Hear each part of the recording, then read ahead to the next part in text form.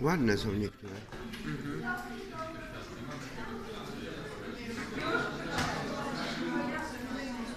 Drugiej części dzisiaj nie nagrywałam, bo oni tak nie lubią tego PiSu i tak gadali, że sobie filmy na El Mercedes skróciłam, bo tak żydowski język nienawidzi tych, tych, co się modlą do Matki Boskiej. A przecież ja wiem, że Matka Boska to jest kult. Nie ten, co z Pisma Świętego, co z- od Jezusa, co z prawdy. Ale lepiej pójść do kościoła jak Żydzić.